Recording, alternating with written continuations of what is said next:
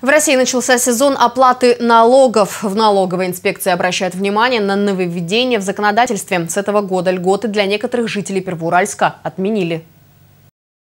Это касается пенсионеров, инвалидов и ветеранов. Э, у них раньше, допустим, в 2017 году не облагались все земельные участки полностью без разницы, сколько их было в наличии. С 2018 года льгота дается только на один земельный участок. Также отменена льгота на земельный налог жителям других городов, которые имеют участки в Первоуральске. В этом году им, как и всем, придут извещения об оплате налога. Их рассылка уже началась. Налоговая служба обращает внимание, что в этом году изменилась форма уведомлений. Теперь в нем указано только то имущество, которое облагается налогом. Квитанция больше не прикладывается. Реквизиты для оплаты указаны в самом уведомлении. Налог нужно заплатить до 2 декабря в любом банке или не выходя из дома в личном кабинете на сайте налоговой службы или госуслугах услугах.